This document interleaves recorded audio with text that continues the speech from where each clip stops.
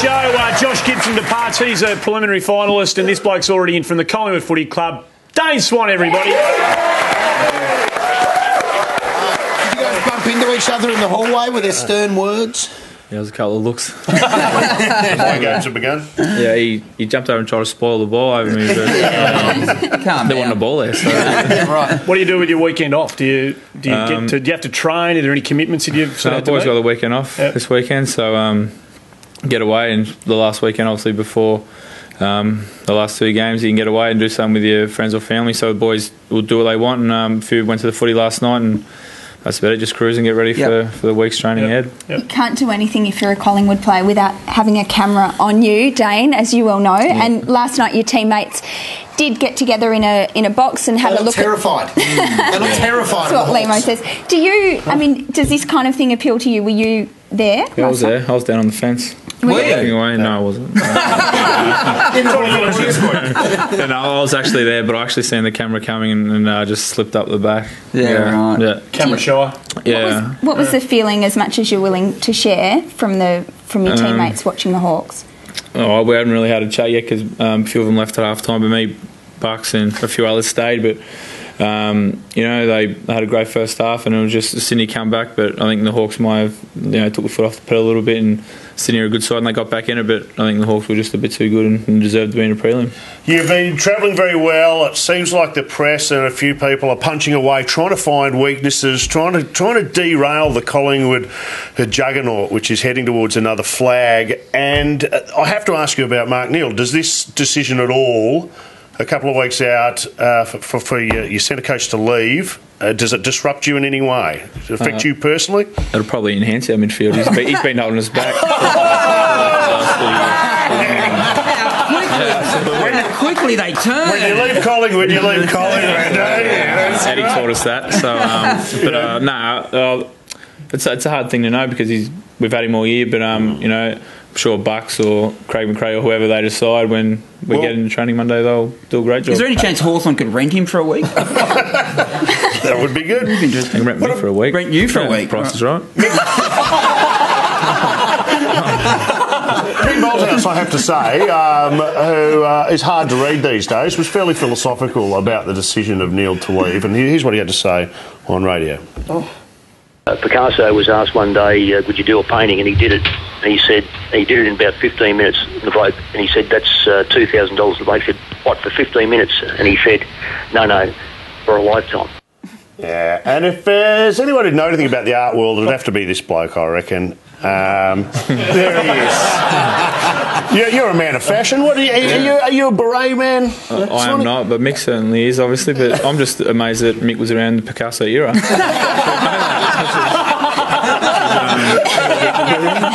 They're a close personal friends. Dane, what insights can you give us into Mark Neeld? Why would Melbourne want him as coach, and what will be his distinguishing feature? Yeah, well, I think he's a school teacher by trade as well. So I think he's a you know great communicator and um, knows how to get his point across. And I think um, he sort of really drove the, the midfield setup and structures this year. And Mick give him obviously Mick's a big rap for him, give him sort of carte blanche to go do what he wants with us midfield. And he sort of doesn't. Mick never comes over the top about us. Mick he just lets Mark do his thing. And Wow, that is big though, isn't it? Yeah, 'Cause, I mean, yeah. the midfield's obviously the engine room, and he's been driving it. This guy. Yeah, so he's sort of everything we do out there is was run by him in pre-season. And, you know, he obviously asks input guys like Pendles and Bally and myself, but you know, for the most of the time, it's all Mark. It's all Neeldy's been Neeldy's Who's going to take over this next week? Do you know? uh, I heard Joffa was going to take over.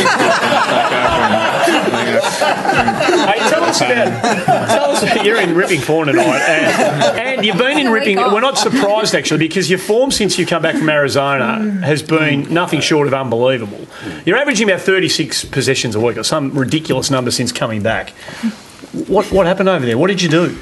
It's like a mystical place to us we know nothing about. What goes the, on? it's like the new Tibet or something, you know. Yeah, it's uh, it's not bad. It's um, we got some sun. That's that's what we got over there. We so got you went some sun. for a, Yeah, ten um, days or I something. started and wild. I thought we were doing something naughty, but uh, that clearly is not the case. So, So they can it leave me alone. So it's flat out the whole time though, training wise over there. Uh, not we don't train 15 hours a day. It would pretty much when we went over in middle of the year, we trained uh, probably three, four hours a day, but it was pretty solid. And then it was just good to freshen up and get away from the fishbowl that is Melbourne around And footy. And freshen up you did because I follow go. you on Twitter, Dane Swan, and I saw you post this picture from Arizona. Uh, there you are doing a bit of shopping. Uh, yeah, that was one of our main sessions actually. That's what we said. it was like supermarket points or something. Absolutely, yeah. It's good fun. Are they still target testing you? Uh, oh, they, they have been. You haven't been done for 10 days or something, so it's, Okay. yeah, it's, I've slept well. It would be annoying. You've, you've be, it would be annoying for you. But anyway, the Brownlow's coming up, and you're still a chance. I believe you're a chance to win the Brownlow. I know you are going to go to the Brownlow. aren't You, you were talk, you've been talking about not going. Uh, I would like not to go, Yeah, but, but your um, girlfriend wants to go. We know your girlfriend wants to go. that's She was in the it was in the paper. She reported the dress that she's going to wear. Apparently, is a, a black and nude dress. Awesome. Which is um, yeah. know, no, well, I mean, you you you've got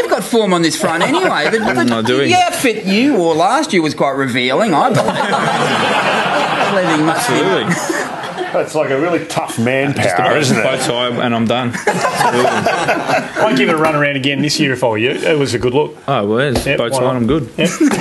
Dave, welcome back to the show. This before the game. Dane Swan, superstar from the Collingwood Footy Club, our special guest, Mickey Molloy. They're, they're a relaxed bunch down at Collingwood. Uh, you, you seem to know where you are and you're travelling comfortably, and you don't mind getting a bit lippy with some of the journalists. and I, I quite like this. Here's, a, here's an example of a young up and comer Pendlebury having a go.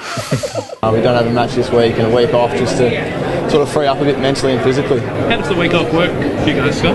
Uh, you don't play this weekend. Well done.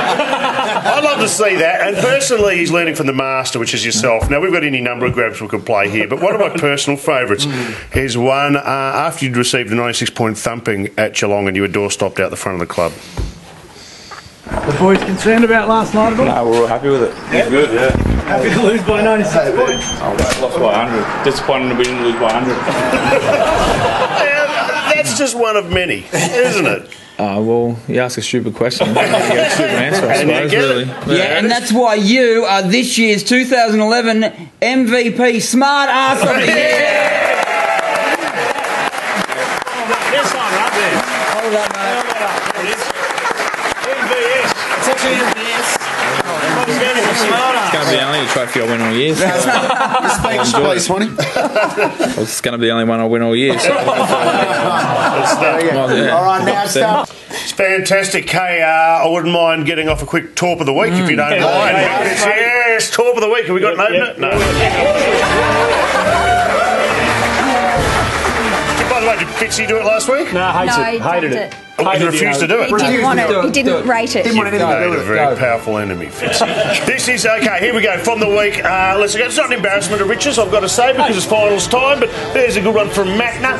I like this one from Whitecross. Bang! Look at a hang time here. That's up there for a long time. Uh, Mickey, at least they can put him away in the finals. That's right, mate. And Burgoyne, here he goes. That's a low hummer, straight up the guts.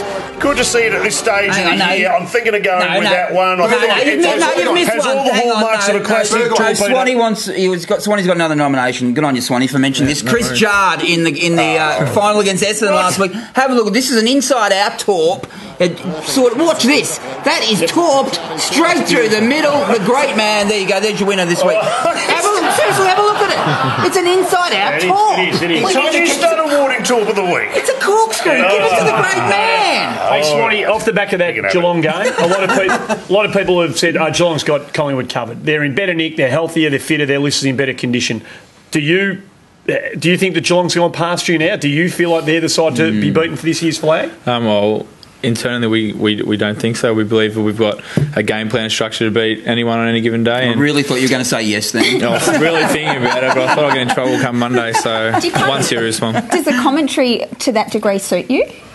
Um, whose commentary? Well, the commentary that Andy's talking Oh, about. mate, to be honest, it doesn't really worry us. Like we don't, we're not fussed about external um, commentary and things like that. That's why we probably answer questions like me and Pendles do because we're not really fussed about it, and we'll just go along doing our thing. And hopefully, um, with Tom on ready back, we put in a good show Friday It's a good attitude. Hey, Swanee, hate to interrupt, mate. We've got some breaking news. I don't know if you saw the story during the week about two alleged mistresses of Richard Pratt have come out fighting over his estate. Well, a third mistress. What? Oh, no. A third has now come out. She works here at Channel 10. Oh, no. uh, let's have a look. Bronwyn Malloy. Yeah. Um, claiming to have had an affair. Trust so. me, she, she, won't be that expensive. Half a dozen uh, Bacardi breezes and a taxi. Very Swanee, all the best for know, next really. weekend. Good on you. Dane Swanee, our very special guest. That's it for us. Carlton and West Coast. Come on, Blue Boys.